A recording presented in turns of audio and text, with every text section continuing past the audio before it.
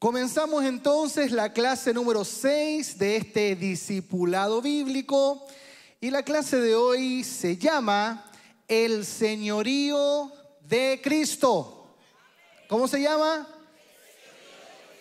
El Señorío de Cristo. Muy bien, estamos entonces llegando a la clase número 6 de nuestro discipulado y lo primero que haremos es recordar que en la clase anterior hablamos sobre la definición bíblica de un cristiano.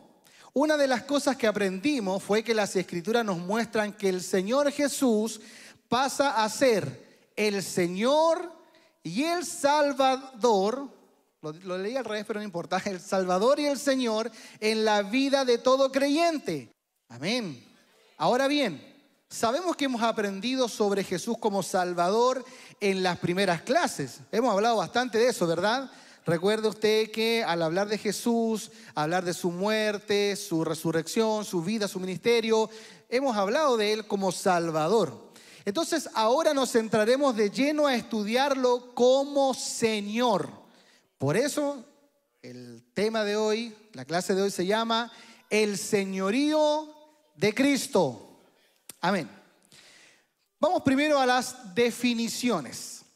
La palabra señorío, según la RAE, ¿saben cuál es la RAE, verdad? Real Academia Española, es, palabra señorío es, dominio o mando sobre algo. ¿Ya? Perfecto. Dominio o mando sobre algo. Respecto a la palabra señor, la RAE dice dentro de otras definiciones, persona que gobierna en un ámbito determinado. Esto significa que ser señor, ¿verdad? Porque es muy importante entender eso.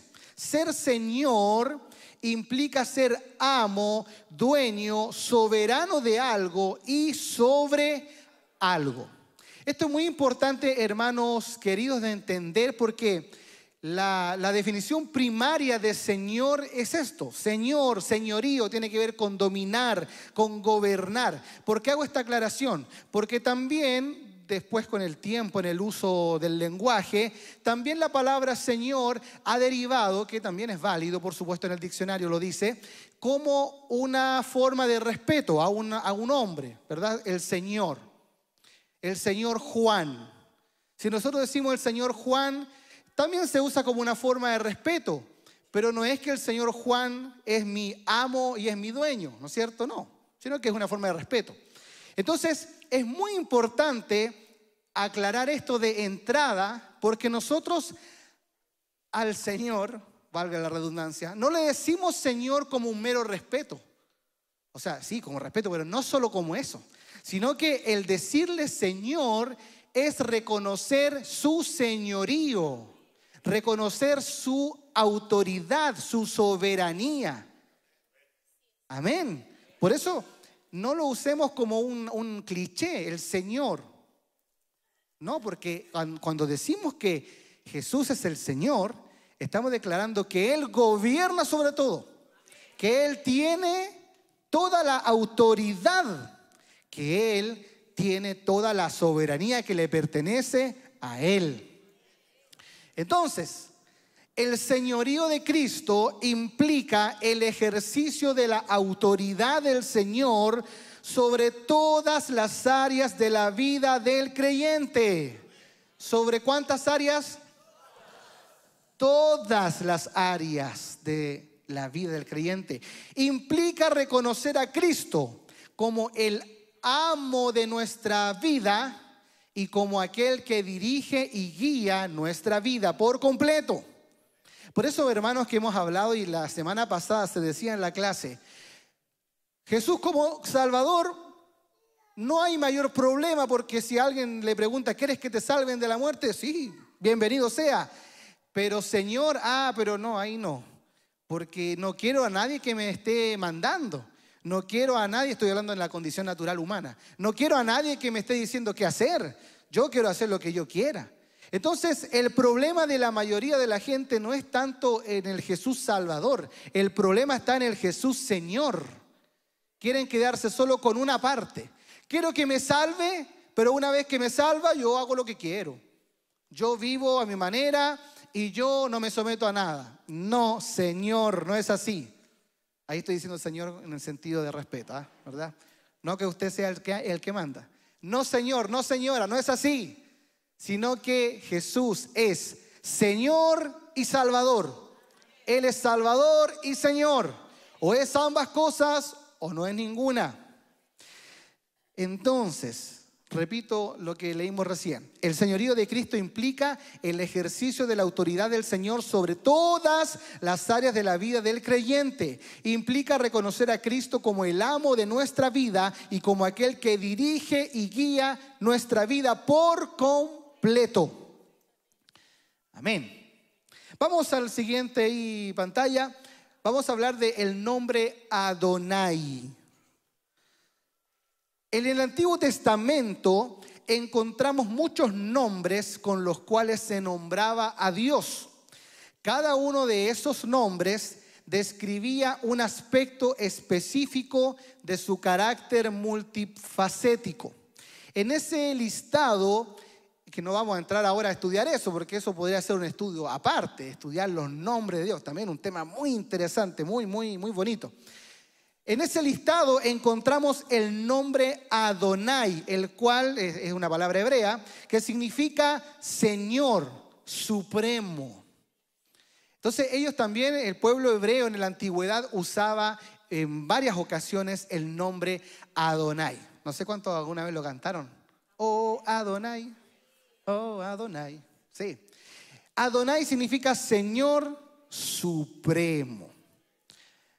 Entonces, en el Antiguo Testamento vamos a ver muchas veces, yendo al lenguaje original, por supuesto, vamos a ver, a ver la palabra Adonai. ¿Y eso por qué? Porque en el tiempo antiguo siempre hubo una, digamos, un realce de que el pueblo hebreo reconociera que el Dios que ellos servían, ¿verdad? Que es el único Dios y que nosotros también servimos, ese Dios es Adonai, es Señor, es amo, es dueño, tiene soberanía sobre todo, tiene control sobre todo, tiene autoridad sobre todo. Amén. Y vamos a lo siguiente para que avancemos rápidamente. Comprados a precio de sangre. En el tiempo antiguo, para ejercer señorío, había que adquirir el derecho ya sea por herencia o por medio de comprar, ya sea tierras o esclavos. Puede dejarlo hasta ahí. A ver, entendamos lo siguiente. Hoy día, si nosotros eh, en nuestra época eh, postmoderna en la que estamos, eh, usamos mucho la palabra Señor cuando nos dirigimos a alguien, a un varón. ¿Cómo está, Señor? Pase, Señor. Pero en el sentido de señorío, hoy día prácticamente eso está en desuso. ¿Quién es Señor hoy día? Ya no existe prácticamente eso. No estamos en la época antigua que por muchos siglos y siglos estaban los señores y era porque tenían un título de señor, el señor feudal. ¿Cuándo se acuerdan en la, historia en el colegio? Los señores feudales. ¿Por qué, ellos, ¿Por qué era señor? Porque ellos eran dueños de vastos terrenos, ellos tenían gente, esclavos, o siervos y ellos eran Señor. ¿Por qué? Porque ellos eran los amos de esas tierras, de esas personas. Hoy día quizás para nosotros no, no, no existe tanto esa figura en el tiempo postmoderno, por eso que quizás no la asimilamos tanto. Pero eso es algo que siempre existió en la humanidad. Pero ¿cómo sucedía? Alguien llegaba y decía, yo voy a ser señor de toda esta gente. ¿Así? porque le dio la gana. No, tenía que adquirir ese derecho. O sea, nadie podía llegar y atribuirse así como así ya. Ahora todos ustedes me pertenecen a mí, yo soy su Señor. No, o sea, había que adquirir legalmente, porque recuerde que todo eso siempre fue algo legal comprar, pagar por los esclavos o por los siervos. Y entonces una persona que tenía un señorío sobre ciertas tierras, sobre ciertas ciudades, esa persona era declarado señor porque adquiría los derechos. Decía, señores, yo a ustedes, no, no, señores, eh, gente, ustedes ahora son siervos míos, yo los he comprado, así que yo soy su Señor, ustedes son mis siervos. Había que adquirir eso. ¿Por qué hago esa aclaración? Porque nosotros podemos preguntar, bueno, ¿y con qué atribuciones el Señor se, se hace Señor nuestro? Pagó un precio para adquirirnos a nosotros. Ah, mira qué interesante. Por eso que ahí la pantalla dice, comprados a precio de sangre.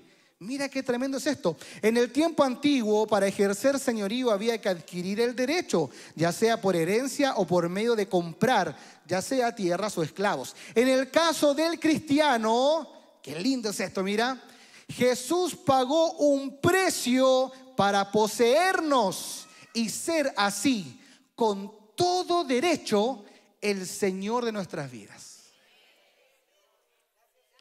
Oh, qué lindo. Hermano, y vuelvo a, esto, porque yo insisto un poco, disculpe que sea majadero.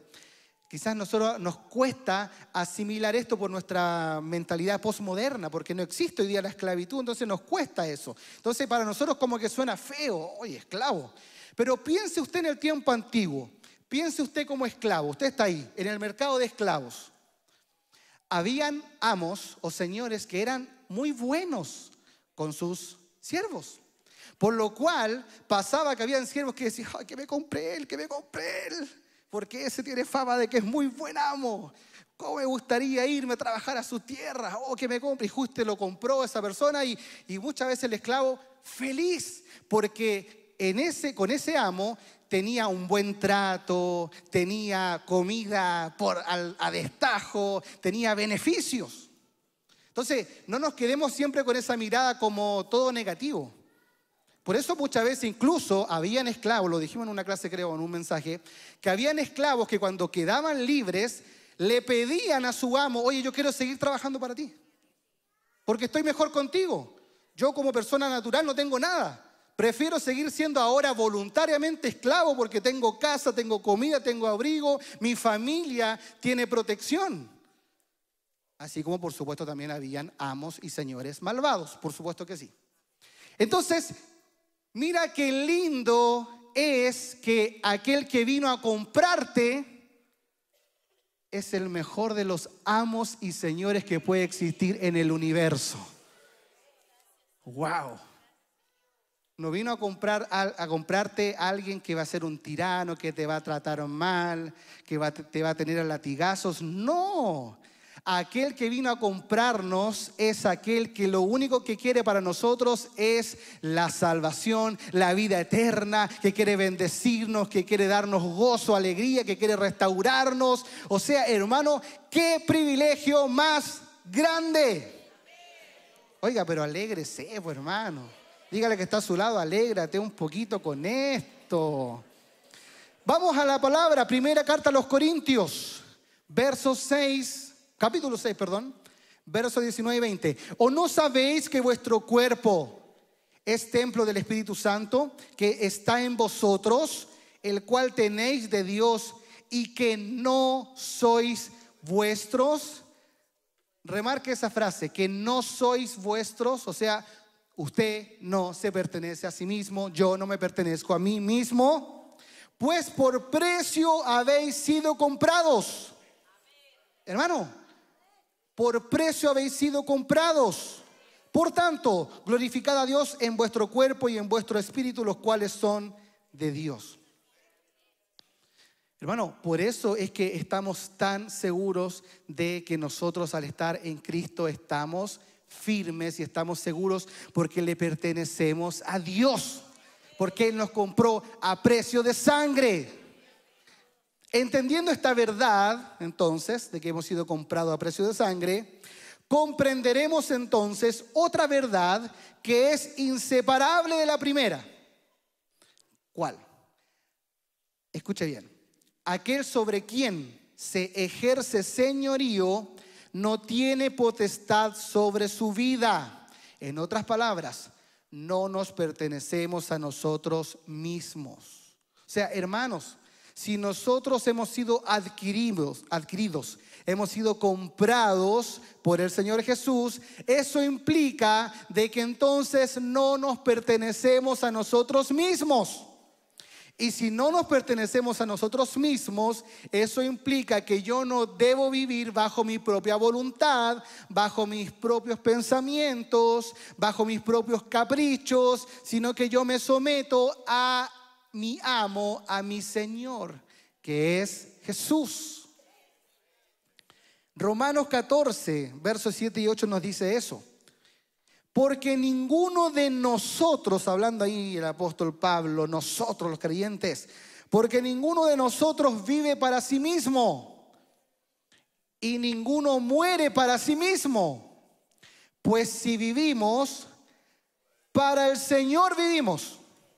Y si morimos, para el Señor morimos. Por tanto, ya sea que vivamos o que muramos, del Señor somos.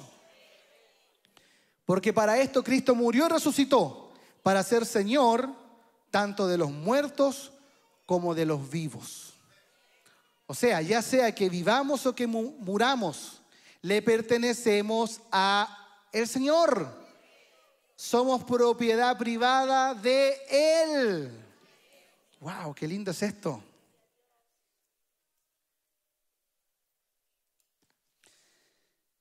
Sigamos avanzando.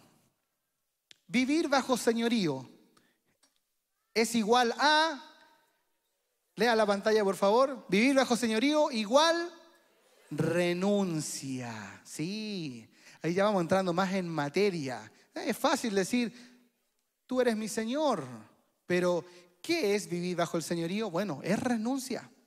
Muchos quieren aceptar a Cristo como Salvador, ya lo dijimos, pero es bueno repetirlo, pero no como Señor.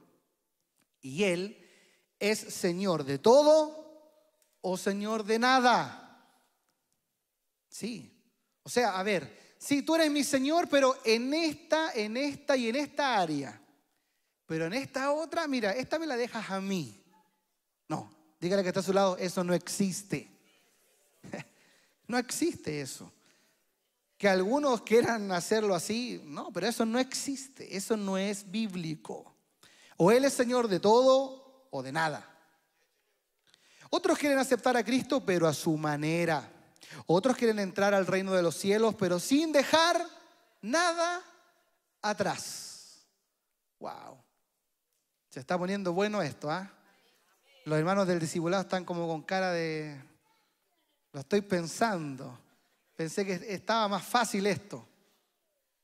Sí, hermano, hay que dejar todo atrás. Mira, vamos a Lucas capítulo 9, verso 57 en adelante. Mira qué interesante lo que encontramos acá en este Evangelio de Lucas.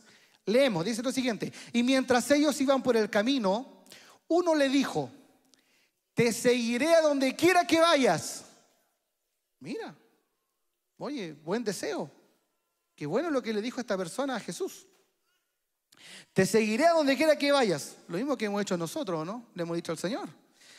Y Jesús le dijo, las zorras tienen madrigueras y las aves del cielo nidos, pero el Hijo del Hombre no tiene dónde recostar la cabeza. Ya voy a explicar ese versículo por si alguien no lo entiende. A otro dijo, ahora es el Señor, ojo, ahora es el Señor que le dice a alguien. Porque el primero, él fue y le dijo, te seguiré donde quieras. Y el Señor le dice, eso que ya leímos, que ahí lo voy a explicar. A otro dijo, sígueme. O sea, el Señor le dijo a alguien, sígueme. Pero él dijo, Señor, permíteme que vaya primero a enterrar a mi padre. Wow, pobrecito. Mas él le dijo, deja que los muertos entierren a sus muertos, pero tú, ve y anuncia por todas partes el reino de Dios. Ya lo voy a explicar. Parece un poquito como que intransigente, ¿ah? ¿Cómo el Señor no tiene respeto por el duelo? Oh, ya lo voy a explicar. También otro dijo, te seguiré. O sea, aquí es la persona que está dando a entender eso. Te seguiré, Señor. Pero primero permíteme despedirme de los de mi casa. Pero Jesús le dijo, nadie que después de poner la mano en el arado mira atrás es apto para el reino de Dios. O sea, esas personas que no renuncian de verdad no califican para el reino de Dios. Wow. Vamos a explicar un poquito. Tenemos tres casos. El primero es donde la persona manifiesta su deseo. Te seguiré donde quiera que vayas. Y el Señor Jesús le dice, las zorras tienen madrigueras y las aves del cielo nidos, pero el Hijo del Hombre no tiene dónde recostar su cabeza. ¿Por qué esa respuesta? Esa respuesta básicamente, mis queridos hermanos, significa que el Señor Jesús le está haciendo ver que Él, esa persona que le dice te seguiré, no ha considerado los costos que tiene el seguir a Cristo. Cuando Jesús le dice, mira, las zorras tienen madriguera, las aves tienen nido, y el Hijo del Hombre no tiene dónde recostar su cabeza. O sea, la condición en ese sentido de Jesús era ni siquiera hasta los animales tenían un lugar donde recostar su cabeza, ni siquiera él la tenía, una pobreza total. Entonces, ¿por qué Jesús le da esa respuesta? Porque lo que quiere hacerle entender es, tú no estás considerando los costos que tiene seguir a alguien que ni siquiera tiene donde recostar su cabeza. Entonces, lo que nos está diciendo la palabra es que venir a Cristo, y eso también incluso el mismo Señor Jesús lo habla en otra parte de los evangelios, venir a Cristo implica eh, reconocer que hay costos que asumir. Hay costos que asumir que muchas veces la gente cuando viene por la emoción, no, si yo ahora sí que voy a servir al Señor, no considera los costos. No considera que hay que dejar cosas. No considera que hay que perder cosas. Y por eso cuando se encuentra con esa realidad dice, no, mejor no. Mira, el Señor Jesús dice, cuando alguien, por ejemplo, Él da el ejemplo, cuando alguien va a construir una casa, eh, eh, ¿qué hace el constructor? Saca cálculo del costo que va a tener para saber y no quedar a mitad de camino. Estoy parafraseando, digamos, no lo dice exactamente así. Imagínense usted, va a construir una casa, se compró un terrenito en el sur, el sueño de cualquiera, y se va a, se va a hacer una casa. ¿Qué pasa si no tiene los recursos necesarios? No puede terminar el proyecto. Usted no puede lanzarse así como así sin calcular cuánto necesito. ¿Sí o no? Acá entonces también el Señor Jesús está diciendo, esto tiene un costo y tú tienes que estar consciente de cuál es el costo. Segundo ejemplo, esta persona, ¿verdad? Cuando Jesús le dice, sígueme, y este le dice, deja que entierre a mi padre. Y el Señor dice, deja que los muertos entierren a sus muertos. Puede sonar como, pero ¿cómo? Qué poca consideración. No es que el, este hombre, este muchacho, este joven, no es que estaba de duelo en ese momento. Cuando él dice, deja que entierre a mi padre, está diciendo, en el momento que ya mi padre fallezca, yo ahí te serviré. Y eso puede ser un año más, cinco años más, diez años más, veinte años más. A eso se refiere cuando el joven o el hombre le dice, deja que entierre a mi padre primero. Y por eso Jesús dice, no, es ahora. Deja que los muertos entierren a sus muertos. Está diciendo, eso va a pasar. En algún momento va a pasar, pero tú ahora debes seguirme. Amén, iglesia. O sea, no es, no, cuando yo me case, ahí me pongo las pilas. Cuando yo salga de la universidad, ahí me voy a convertir. Otros dicen peor. Cuando me jubile, ahí ya voy a estar tranquilo, ya voy a ser un ancianito y ahí voy a portarme bien y ahí me convierto. No, es ahora. Es ahora que Dios hace el llamado.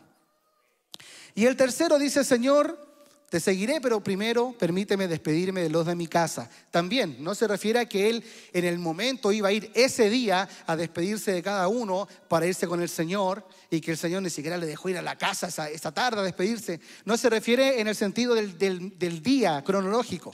También se refiere a que él primero pueda resolver todos sus temas, pueda cerrar sus ciclos familiares para recién en un futuro seguir al Señor. Por eso que Jesús dice, nadie que después de poner la mano en el arado mira atrás es apto para el reino de Dios. Por eso, hermanos, vivir bajo el señorío de Cristo es buscar y hacer su voluntad en todos los aspectos de nuestra vida. Pocos amén, ¿eh? Es hacer de Cristo el cimiento de todo lo que pensamos y hacemos. Pero para reconocer y hacer la voluntad de Dios, necesitamos caminar en el Espíritu. Wow, qué interesante eso, sí. Gálatas 2.10 dice, digo pues, andad en el Espíritu y no satisfagáis los deseos de la carne. Sí, porque hermanos queridos, al final de cuentas, ¿qué es lo que nos impide que el Señor Jesús tenga el pleno señorío de nosotros? ¿Qué es? Es nuestra carne. Porque todos de labios decimos, Señor, tú eres mi Señor. Y yo te obedeceré en todo. Pero llega el momento de los que hubo y no lo hacemos. ¿Por qué? Porque es nuestra carne la que nos lleva a desobedecer, a querer que hayan áreas que no se sometan al señorío de Cristo. Y eso es el llamado que Dios nos hace. Por eso hablemos de lo que es haciendo la voluntad de nuestro Señor. Es el siguiente título. Haciendo la voluntad de nuestro Señor. Todo aquel que está bajo un señorío hará lo que su Señor le dice. Eso suena lógico, por supuesto. El cristiano genuino, mira qué interesante, ¿ah? no el nominal, sino que él, ¿cuál? El cristiano genuino. Por ende, con la ayuda del Espíritu Santo que lo guiará a toda verdad, como dice Juan 16, 13, hará la voluntad de Dios, lo cual implica vivir una vida de santidad, entrega, consagración, obediencia y por supuesto renuncia a sus propios deseos y pasiones. ¿Cuál es la voluntad de Dios? Ya, perfecto, lo tengo claro. Usted dice, ya, perfecto. Debo hacer la voluntad de Dios. Ok. Pero ¿cuál es la voluntad de Dios? Sí, porque podemos decir, ya, yo quiero hacer la voluntad de Dios. Pero ¿cuál es la voluntad de Dios? Que venga cada domingo al templo. O sea, sí, es parte del llamado a congregarnos, pero, pero esa es la base, ese es el fundamento, eso es lo que sustenta todo lo demás. No, no, la voluntad de Dios es que me ponga corbata cada domingo y me peine bien peinadito. Entonces, es muy importante hacerse esa pregunta. ¿Cuál es la voluntad de Dios? En un sentido general, este texto que viene a continuación nos brinda una base o punto de partida para comprenderlo. Vamos a Romanos 8:29. Mira qué interesante porque aquí en un sentido general está revelada la voluntad de Dios. Dice, porque a los que de antemano conoció, también los predestinó a ser hechos conforme a la imagen de su hijo. Ahí está con mayúscula hijo. ¿A quién se refiere cuando dice a su hijo? A Jesús. Para que Él sea el primogénito de entre muchos hermanos. Entonces, hermanos queridos, en un sentido general, como para poner un piso, una base a esto, la voluntad de Dios, del Padre, que nos conoció de antemano y nos predestinó, es que seamos hechos conforme a la imagen de su Hijo Jesucristo. Listo. Sí, suena fácil, pero no es fácil. Pero eso es. La voluntad de Dios es que cada día nos parezcamos más a Cristo. Wow. A veces nos mareamos con tantos términos, nos mareamos con, con cosas, con conceptos, con teología. Pero hermano, eso es. Eso es. En un sentido primario, en un sentido amplio, la voluntad de Dios es que cada día nos parezcamos más a Cristo.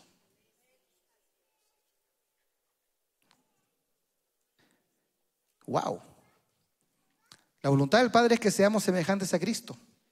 Ahora la pregunta es, ¿cómo podemos ir conociendo y o descubriendo esa voluntad con más profundidad? Claro, porque ya, perfecto, ahora entendí, debo ser más como Cristo. ¿Qué significa eso? Ponerme túnica. Porque parece que Jesús andaba con túnica en ese tiempo, ¿verdad? Eh, quizá lo más probable es que tenía barba larga. Así lo vemos, digamos, como caracterizado. Ah, esa es la voluntad de Dios. Que me parezca a Cristo. Pero es en ese sentido. Ah, seguramente entonces debo caminar con, sandalias. Por calles polvorientas, porque así caminó Cristo. Pero eso es algo físico. Entonces, ¿cómo puedo yo descubrir en forma más concreta ¿Qué me hace ser más parecido a Cristo? ¿Ponerme una corbata? ¿Qué cosa? ¿Cómo lo, ¿Cómo lo puedo saber? Ayúdeme, por favor. Bueno, ahí está la respuesta. Mire, ¿cómo podemos ir conociendo y o descubriendo esa voluntad con más profundidad? Esto lo logramos a través de, y aquí tenemos los tips. Mira qué interesante. Primero, su palabra. A través de su palabra, nosotros vamos a poder saber con más detalle, con más profundidad, cómo ser cada día más semejantes a Cristo. Segunda Timoteo 3, verso 16, 17. Toda escritura, toda, toda, es inspirada por Dios y útil para enseñar, para reprender, para corregir, para instruir en justicia, a fin de que el hombre de Dios sea perfecto, equipado para toda buena obra.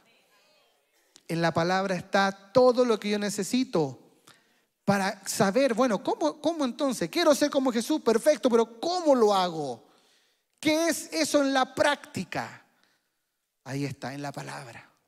Ahora, no es solo la palabra, vamos al, segundo, la oración. Oh, la oración. Lucas 6, versos 12 y 13 dice, en esos días él se fue a orar al, él se fue al monte a orar y pasó toda la noche en oración a Dios. Cuando se hizo de día, llamó a sus discípulos y escogió doce de ellos, a los que también dio el nombre de apóstoles. Mira qué interesante, mis hermanos, porque el Señor Jesús, el día anterior de elegir a sus doce que le iban a acompañar, se pasó toda la noche orando igual que usted y que yo. Sobre todo en decisiones tan importantes como era elegir a los doce que le iban a acompañar en su ministerio. Por eso pusimos ese versículo como muestra de que la oración nos va también, así como primero la palabra, también la oración nos guía a la voluntad de Dios. Señor, ¿qué debo hacer aquí? ¿Qué debo hacer allá? ¿Cómo debo responder ante las ofensas? ¿Cómo debo criar a mis hijos? Señor, ¿cómo debo ser con mi esposa? Señor, ¿cómo debo comportarme en mi trabajo? Señor, ¿cómo debo tener mi compromiso con mi iglesia local? Y, ponga los ejemplos que quiera, porque todas las áreas de la vida están involucradas en eso. ¿Cómo lo hago? La palabra, pero también la oración. La oración, Señor, muéstrame, dame sabiduría, ayúdame, ilumíname, Espíritu Santo, para comportarme, para decidir bien, correctamente, para eh, hacer lo que tú quieres que haga. La oración también es una forma para conocer de mejor manera la voluntad de Dios. Con eso, hasta ahí nomás, pensemos, ¿cuánto estudiamos la palabra? ¿Cuánto oramos? Dejémoslo ahí. Pero ahí, ya tenemos una muestra de por qué a veces nos cuesta tanto entender cuál es la voluntad de Dios. Señor, no sé qué quieres para mi vida. Bueno, todos podemos pasar por eso, sí, está bien. Pero no podemos vivir en eso. Tenemos que buscar, amén. Ahora, tercero, el consejo de líderes sabios. Oh, otra cosa también. ¿Cuánto nos cuesta pedir consejo?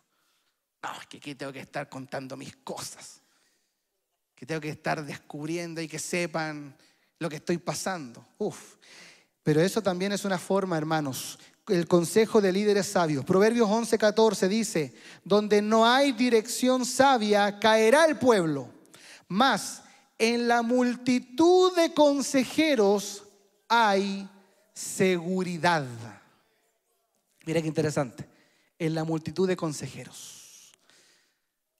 ¿Cuánto cuesta a veces? Ah? ¿Cuánto cuesta a veces pedir consejo? Pero dice que en la multitud de consejeros hay seguridad. Porque también es una forma, cuando nosotros vamos a gente sabia, a gente que tiene un buen testimonio, a gente que el Espíritu Santo nos muestra, ¿verdad?, que pueden dar un buen consejo. Qué bueno es ir y tomar esos consejos para así también tener más claridad de lo que el Señor quiere para mi vida. Quizás hay una decisión que tomar y estoy ahí y leo la palabra, pero me cuesta. He orado, pero me cuesta. Está también esta tercera alternativa. voy a pedir un consejo.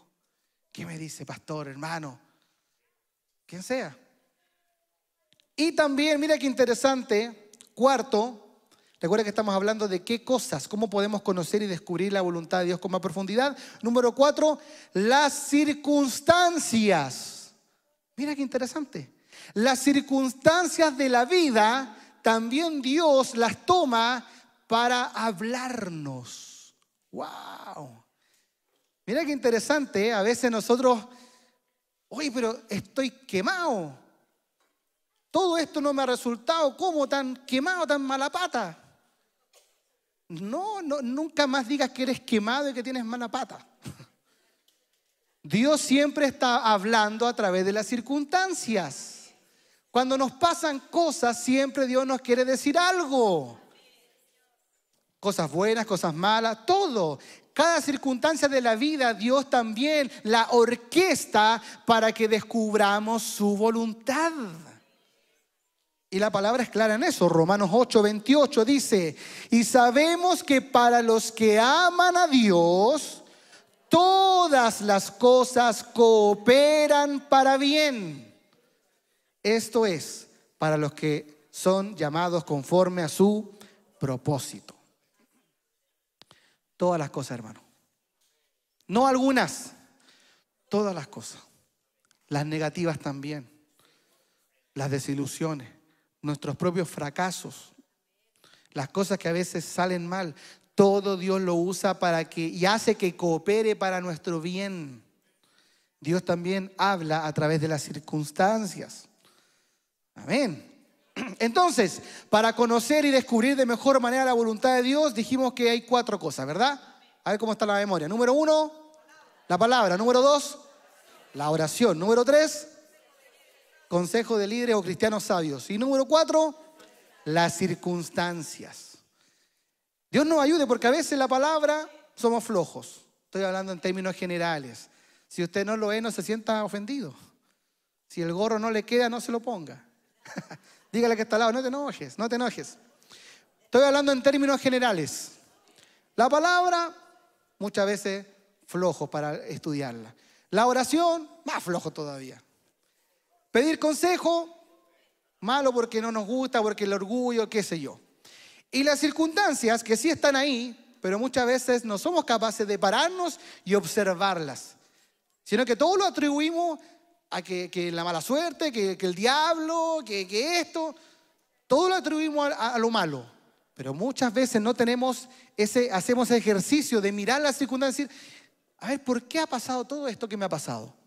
¿Qué me quiere decir Dios con todas estas vivencias que he tenido? Son cuatro áreas entonces, hermanos, que tenemos que tomar en consideración. La siguiente pregunta, ¿Por qué hacer la voluntad de Dios? ¿Por qué? Bueno, tenemos un par de respuestas bíblicas. ¿Cuáles son?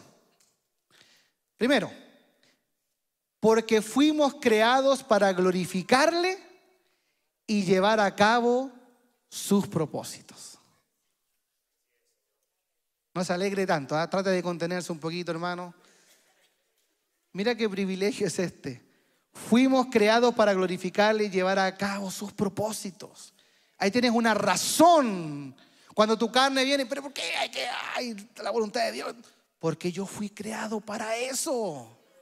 Wow. Efesios 1, versos 5 y 6 nos predestinó para adopción como hijos para sí mediante Jesucristo, conforme al beneplácito de su voluntad para alabanza de la gloria de su gracia que gratuitamente ha impartido sobre nosotros en el amado. Qué tremendo es esto, hermano. Qué lindo. Y el mismo libro de Efesios ahí, también capítulo 1, pero un poquito más adelante, versos 12 al 14 dice, a fin de que nosotros, que fuimos los primeros en esperar en Cristo, seamos para alabanza de su gloria. Otra vez ahí el concepto. En él también vosotros, después de escuchar el mensaje de la verdad, el evangelio de vuestra salvación, y habiendo creído, fuisteis sellados en él con el Espíritu Santo de la promesa, que nos es dado como garantía de nuestra herencia, con miras a la redención de la posesión adquirida de Dios. Y otra vez, mira, para alabanza de su gloria. Qué lindo esto, hermano. Qué lindo es esto. Por eso, primera respuesta, ¿por qué hacer la voluntad de Dios? ¿Por qué? ¿Por qué tengo que hacer la voluntad de Dios? Oiga, nuestra carne a veces es tan así. ¿Verdad? Yo lo reconozco a veces. ¿Qué, qué, no sé, a ver qué término usar? ¿Qué, qué descaro a veces tenemos de pararnos así como, ¿y por qué, Señor? En vez de entender que es una honra que Dios nos haya tomado para poder hacer su voluntad y que a través de nosotros su nombre reciba alabanza, para alabanza de su gloria. Wow. Pero eso no es lo único. Segundo, porque su voluntad es buena, agradable y perfecta. Oh, ¿Por qué debemos hacer la voluntad de Dios? Porque su voluntad es buena, agradable y perfecta.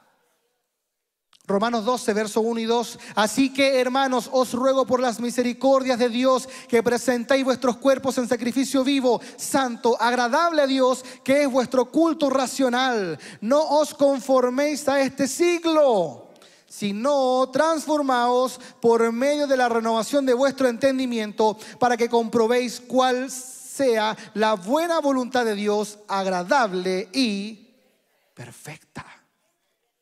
Qué lindo, hermano.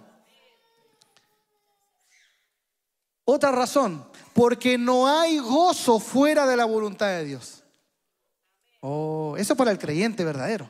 No hay gozo fuera de la voluntad de Dios. Juan 15, verso 10 y 11 dice, si guardáis mis mandamientos, permaneceréis en mi amor, así como yo he guardado los mandamientos de mi Padre y permanezco en su amor.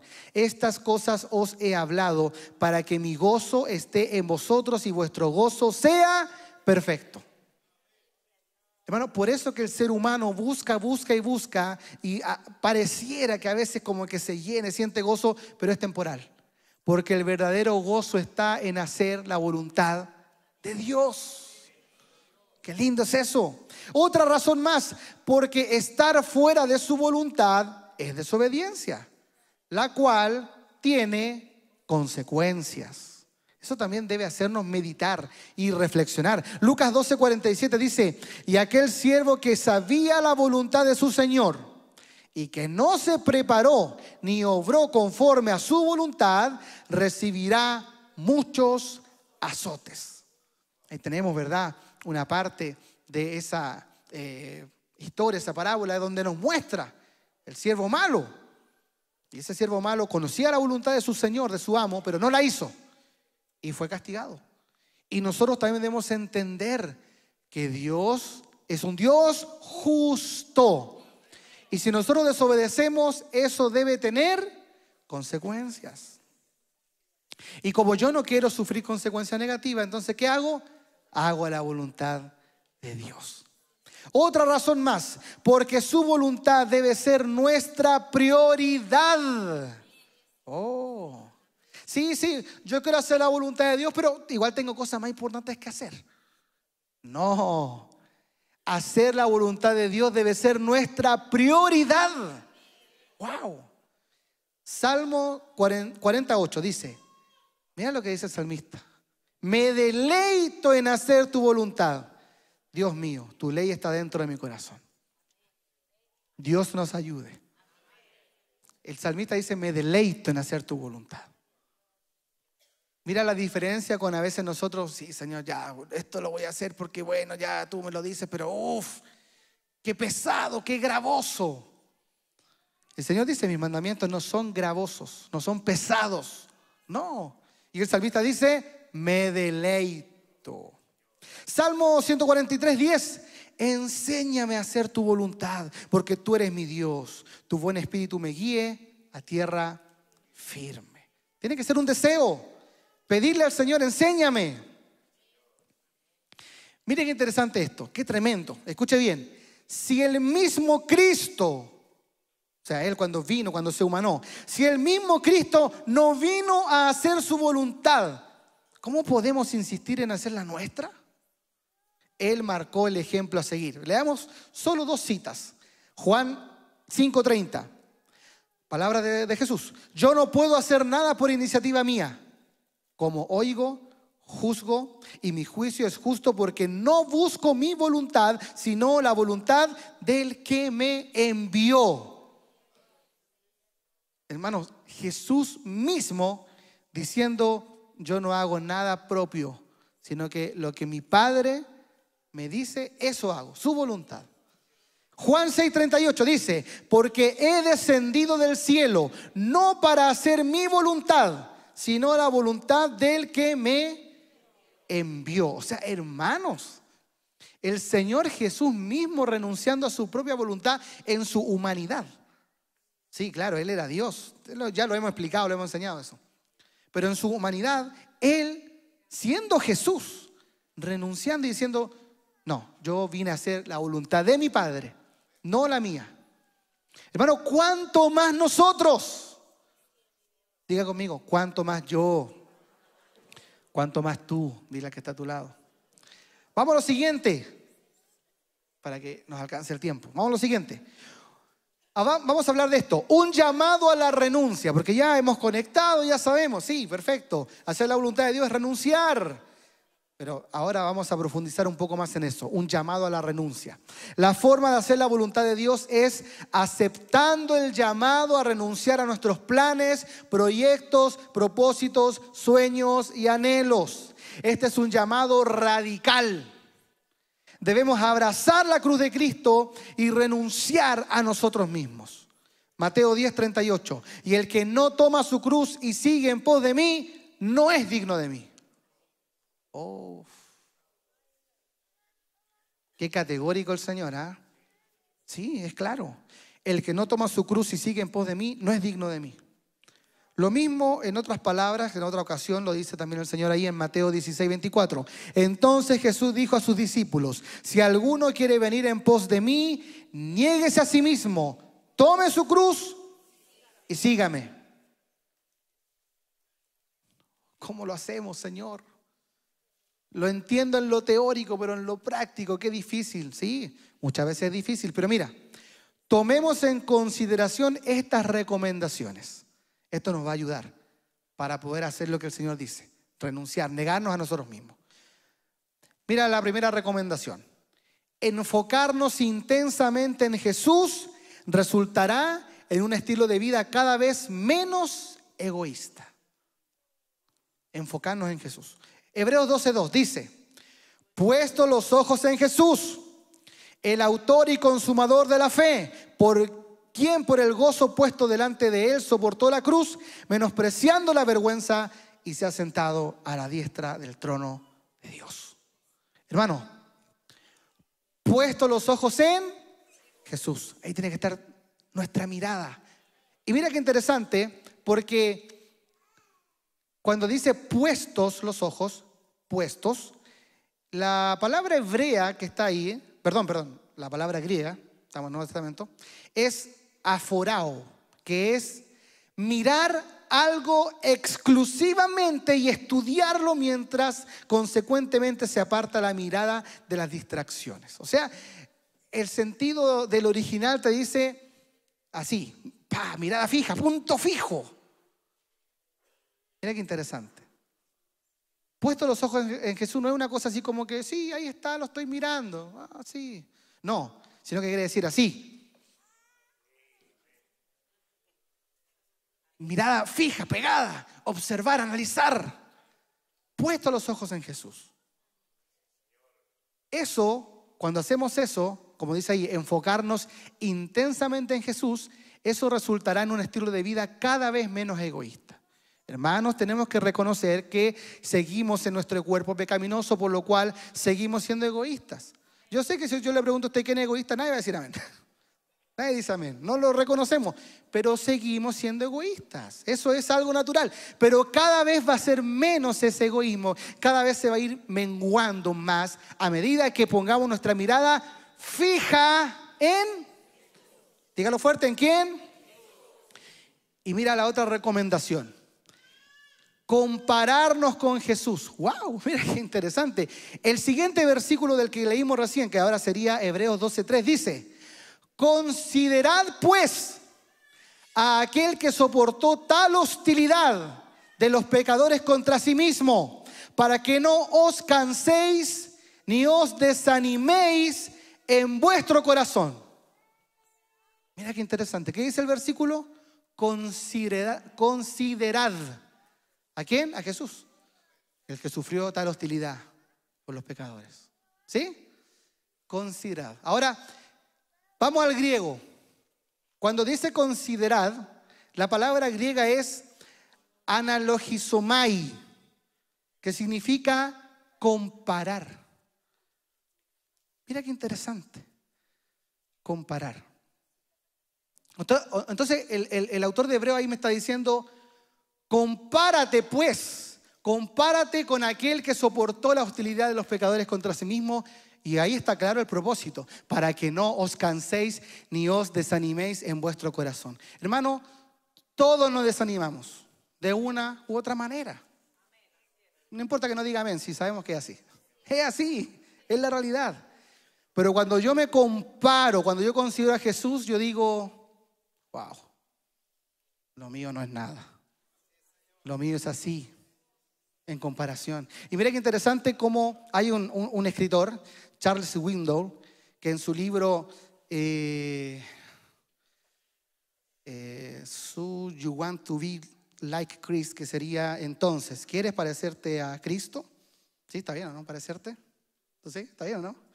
Dice, mira qué interesante, en la página 91, para que sepan que no estaba inventando. Dice, la próxima vez que sienta lástima por sí mismo, pause lo suficiente para comparar su situación con la suya, o sea, con la de Cristo, con la suya, está hablando de Jesús. La próxima vez que sea criticado injustamente, de nuevo, compárese. Pese sus problemas contra lo que él sufrió. Cristo. La próxima vez que tenga que renunciar a algo conveniente o a algo familiar, compare su renuncia con lo que él renunció. Wow. La próxima vez que tenga que ajustar su plan, compare su ajuste a lo que él tuvo que ajustarse. Qué interesante. Por eso el texto dice, para que no os canséis ni os desaniméis en vuestro corazón. O sea, cuando yo me comparo con Jesús en ese sentido, yo creo que está claro en el sentido que lo está diciendo el escritor. Quiero dejar todo esto. Quiero renunciar. Ya no quiero seguir. Y lo mío, que me tiren un par de piedras, comparado con lo que hicieron con Jesús, no es nada. Entonces, ¿qué, qué hace eso? Te ayuda a decir, Señor, quiero hacer tu voluntad quiero pagar el precio. Me comparo y veo a Jesús y digo, lo mío no se compara, no tiene, no tiene, ¿verdad? Equilibrio. Lo del Señor es incomparable lo que Él sufrió. Y eso me va a dar ánimo, eso me ayuda a no cansarme ni desanimarme en el corazón, como dice Hebreos 12, 3. Cosas a las que tenemos que renunciar. Esto es una pasada rápida a nuestras posesiones. Posesiones. Si ellas están en primer lugar, nunca formaremos la imagen de Cristo. A nuestras posiciones. Suena parecido, pero no, no es lo mismo. Primero era posesiones y también a nuestras posiciones. No llamemos responsabilidad a aquello que proviene de nuestro ego. Wow, ¿por qué dice eso? No es que yo si no soy acá y no estoy acá, no me ponen este cargo, yo, no, porque Dios me puso ahí. Mm, puede ser, pero renuncia a eso. Renuncia a los títulos. Renunciemos a las posiciones. A nuestros planes. Eso también. Siempre digamos, si el Señor quiere, viviremos y haremos esto o aquello, como dice Santiago 4:15. Si el Señor quiere. Pero seamos capaces de renunciar a nuestros planes No, es que esto, es, yo cuando tengo una idea fija, yo hasta que la consigo. Pero ¿es lo que Dios quiere? Ojo con eso. Cosa a la que tenemos que renunciar, a la gente. ¿En qué sentido? No debemos controlar ni manipular, ni tampoco desear que los demás sean como queremos. No. No, es que todos deberían ser como yo, deberían seguir mi ejemplo. No, no, renuncia a eso. El Señor es el que obra en cada corazón.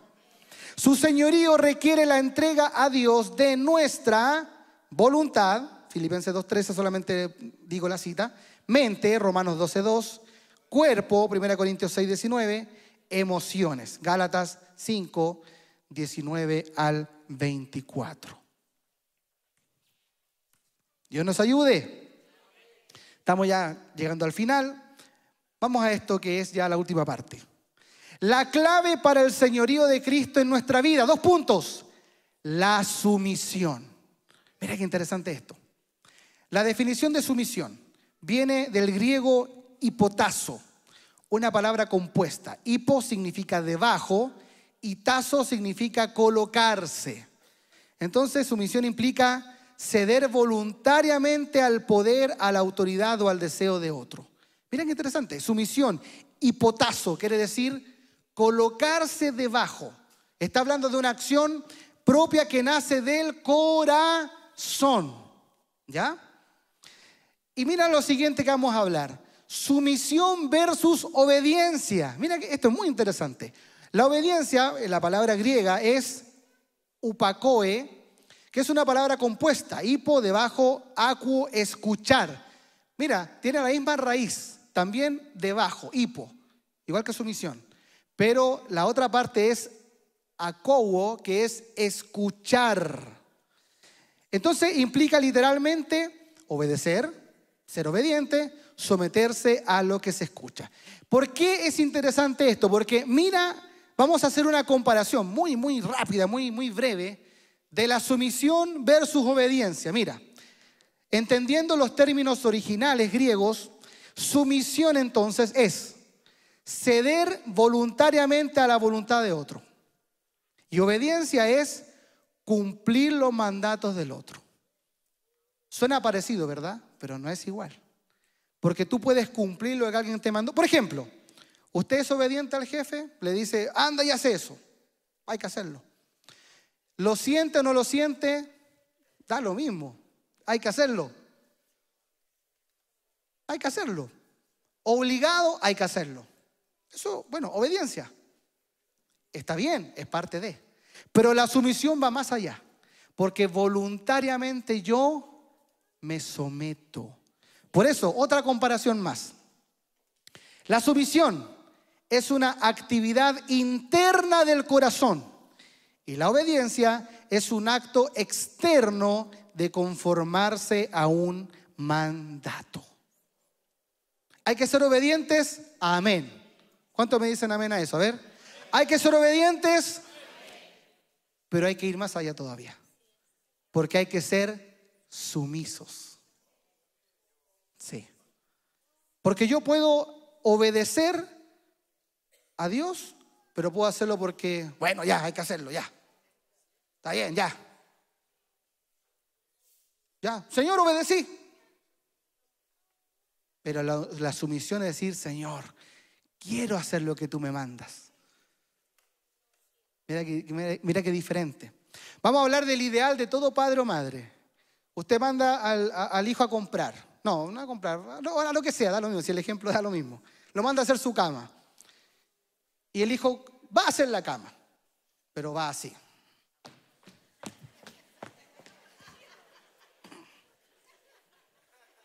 Ya.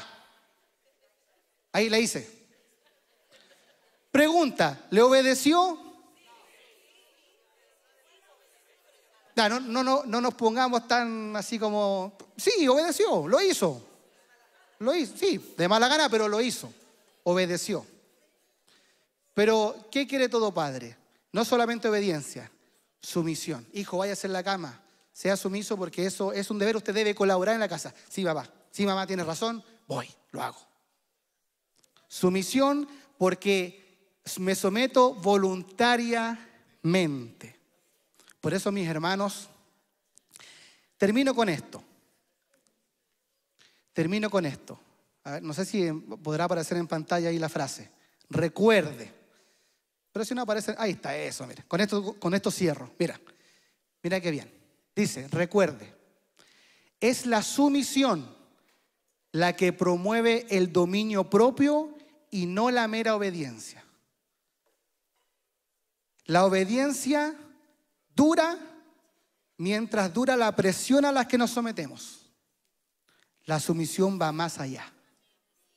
Lamentablemente la mayoría de los cristianos vive solo en obediencia y no en sumisión. Wow. Sí, porque mira, hasta la obediencia, mira qué interesante, esto es tremendo, porque la obediencia dura hasta cuando yo aguanto la presión. Por ejemplo, yo debo portarme bien, debo portarme bien.